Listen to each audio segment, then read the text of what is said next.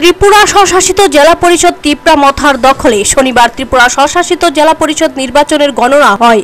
এদিন উদয়পুর রমেশ স্কুলে কঠোর নিরাপত্তা ব্যবস্থার মধ্যে হয় গণনা। কুড়িকিল্লা বাগমা কেন্দ্রে সাত হাজার চারশো তেষট্টি ভোটে জয়ী হন তিপ্রামথা দলের প্রার্থী পূর্ণচন্দ্র জমাতিয়া। বাইশ মির্জা কাঠালিয়া রাজাপুর কেন্দ্রে পাঁচশো আঠাশ ভোটে জয়ী হন বিজেপি দলের প্রার্থী পদ্মলোচন ত্রিপুরা। এদিন দুই কেন্দ্রের গণনাকে কেন্দ্র করে ভোট গণনা কেন্দ্রের ব্যারিকেডের বাইরে সবকটি দলের কর্মী সমর্থকদের উৎসাহ উদ্দীপনা উপস্থিতি ছিল লক্ষণীয়। তবে ফলাফলে শেষ হাসি হাসে কুড়িকিল্লা বাগমা কেন্দ্রে তিপ্রা মথা এবং বাইশ মির্জা কাঠালিয়া রাজাপুর কেন্দ্রে বিজেপি দলের কর্মী সমর্থকরা।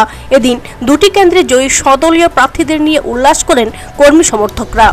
নমস্কার, যতন মুখনকা আমাদের আজকের এই জয় ভারতীয় জনতা পার্টির জয়, ভারতীয় জনতা পার্টির কার্যকর্তা জয় এবং এই জয়ের মূল কান্দারি আমার দিদি। আপনাদের সামনে উপস্থিত আছেন অভিজিৎটা এখানে বিশ্বজিৎ মন্ডল সভাপতি আছেন এখানে রঞ্জিতা আছে মন্ডল সভাপতি মৃত্যু দত্ত থেকে শুরু করে মোহাম্মদ থেকে শুরু করে এই তাদের জয় এই ত্রিপুরাজ্যের মধ্যে এই মানুষের জয় এই জয়। জয়ী হওয়ার পর এডিসিতে প্রথম আমাদের ভারতীয় জনতা পার্টি আমাদের ত্রিপুরা প্রদেশ আমাদের যে একটা ইস্তিহার বাইর করেছিল সেই ইস্তিহারের অনুসারে আমরা কাজ করতে চাই। Bureau report Duronto TV.